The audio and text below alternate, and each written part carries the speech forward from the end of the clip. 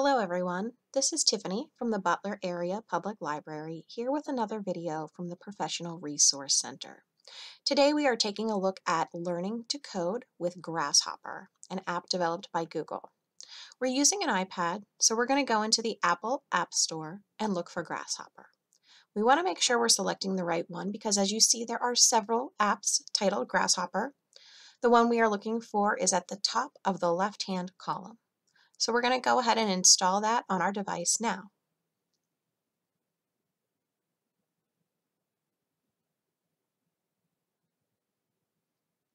Once we open it, it is going to prompt us to log in with our Google account. If you don't have one, you'll want to make one.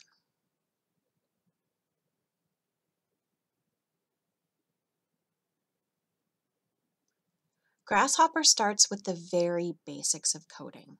So if you've never coded before, that's okay. This is the perfect place to start.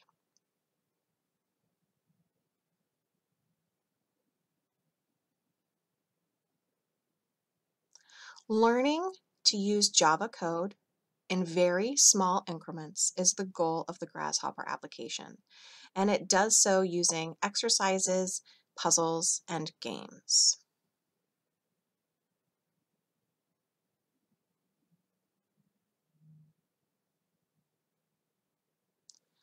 So for our very first exercise, it's going to teach us how to use code to recreate the French flag. It helps us out by doing the beginning part of the solution, and then we need to figure out how to complete it using the prompts at the bottom of the screen.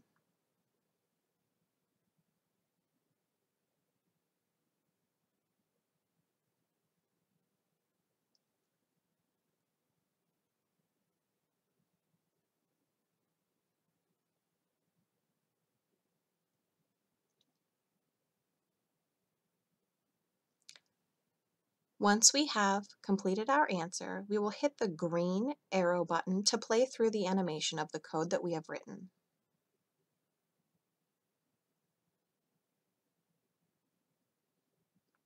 We correctly completed this exercise. Now we will advance to the next lesson. Along the way, as we complete lessons, we can earn certificates, which we can download and share.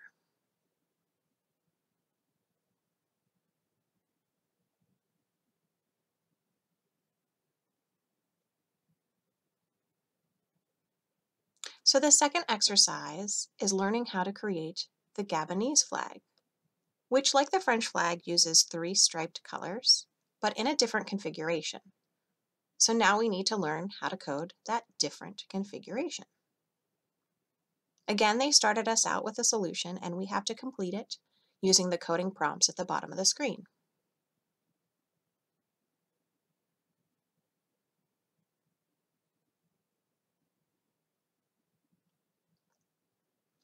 Once we enter our answers, we're going to go ahead and play through the animation of what we coded and see if we're right. Uh-oh, looks like we missed a step. The app is now going to prompt us as to how to correct the mistake that we have made.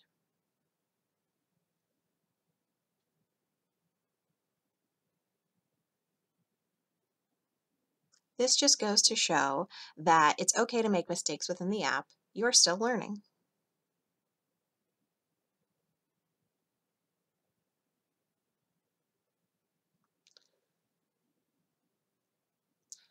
We can take a look at different areas of the app besides just the lessons. This is a prompt which is going to ask us if we want to set up notifications for our device to try coding exercises daily or to learn about new opportunities available.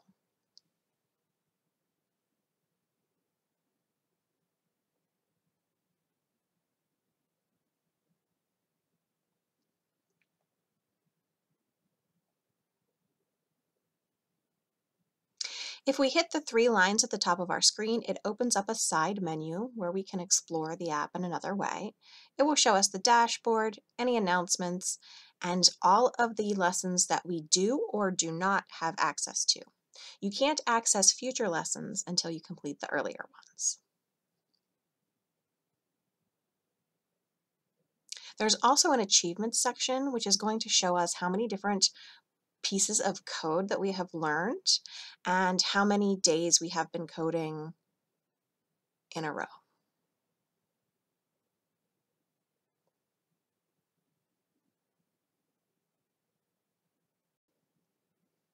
As we explore the app, you will see there are lots and lots of lessons that we can take on our journey to learning to code.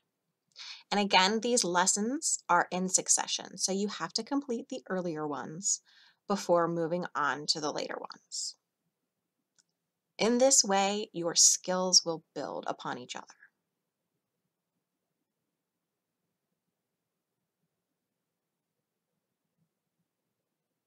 Sometimes the lessons might not be that easy. You may make a mistake that you can't go back and correct, it's still going to give you the right solution, and it will then open up the next lesson.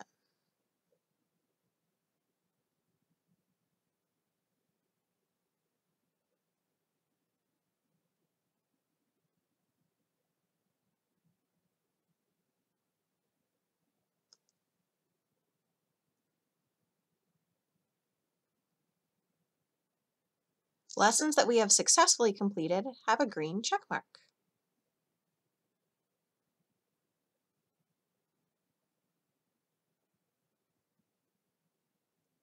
This has been an overview of the Grasshopper application developed by Google to help you learn to code. I hope you found this helpful. If you have any questions, please feel free to contact the library.